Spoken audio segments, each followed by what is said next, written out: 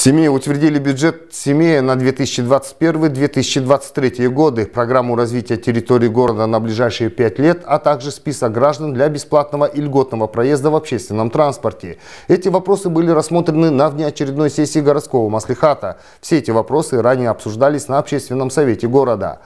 Как известно, впервые появилась возможность предоставить льготный проезд гражданам с минимальной пенсией. Подробнее в видеоматериале. При утверждении бюджета семьи на 2021-2023 годы было учтено его увеличение в целом на 1 миллиард 269 миллионов 806 тысяч тенге. Это стало возможным благодаря свободным остаткам, сложившимся к началу этого года. Большую часть из них планируется направить на завершение ряда проектов в коммунальной сфере. Только больше половины миллиарда тенге пойдут на решение вопросов теплоснабжения. В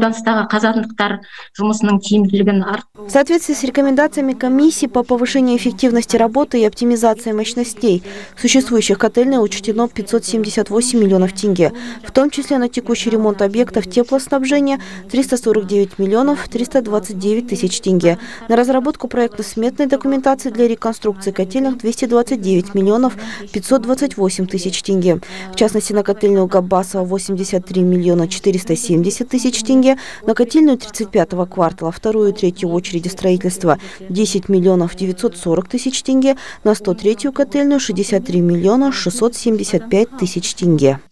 Депутаты задали вполне резонный вопрос. Почему при регулярном выделении больших средств на систему теплоснабжения город вновь оказался не готовым к зиме?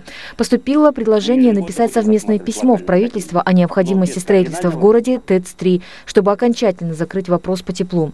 Свой ответ по этому поводу дал Аким города Нурмбет Сахтаганов. Строительство ТЭЦ на это уйдет, сразу скажу, 5-6 лет сами хорошо знаете. Даже на разработку ПСД там э, стратегический объект э, долго этот вопрос планомерно рассматривается, но пока 4-5 лет э, мы замерзнем. Поэтому эти вопросы э, пока 1,2 миллиардов тенге, потом э, в течение года мы хотим еще 3,3 миллиардов тенге.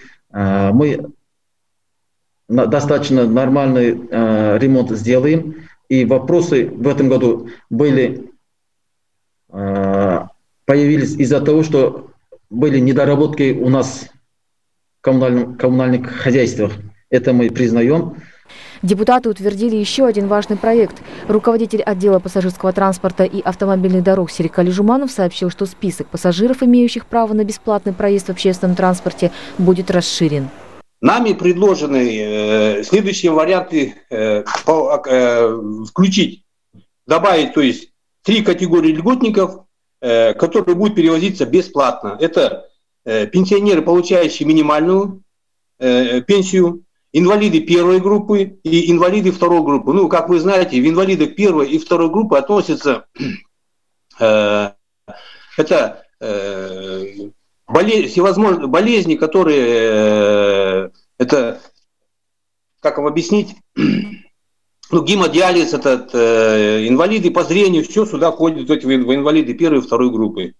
Затраты переводчиков по переводской льготной категории граждан будут компенсироваться согласно данных операторов системы электронного билетирования, то есть смарт-концептов. Также бесплатным проезд будет для ветеранов и инвалидов Великой Отечественной войны. Во время сессии поступило предложение к следующей встрече депутатов пересчитать затраты и рассмотреть возможность расширения списка пассажиров с правом льготного проезда, включив в него ветеранов-афганцев, чернобыльцев, обладателей Кумус и Алтын-Алка, а также студентов. По словам руководителя ответственного отдела, решение вопроса будет зависеть от финансовых возможностей и результатов подсчета системы электронного билетирования. Также на сессии была утверждена новая программа развития территории города на ближайшие пять лет. Сауле Байгалиева, телеканал «Семей».